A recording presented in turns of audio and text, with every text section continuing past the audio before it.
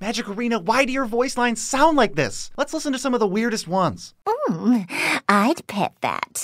Uh, okay. I'm a master, and here's my masterpiece. Teferi is blissfully unaware of how creepy he sounds. I drink only the finest, and you smell well aged. This is just a pickup line. I'm gonna try this one. I've got an axe to grind. Wanna help? No, Garruk, we're trying to fight them. You must be accompanied by a parent or guardian to ride the lightning. What is the context where that isn't creepy? I'm a right nutter. I hate this.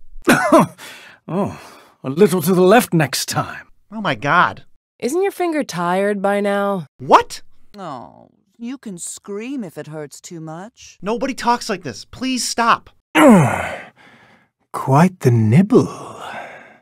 All right, I'm done. Subscribe for less of this. Peace out, Tribe Scout.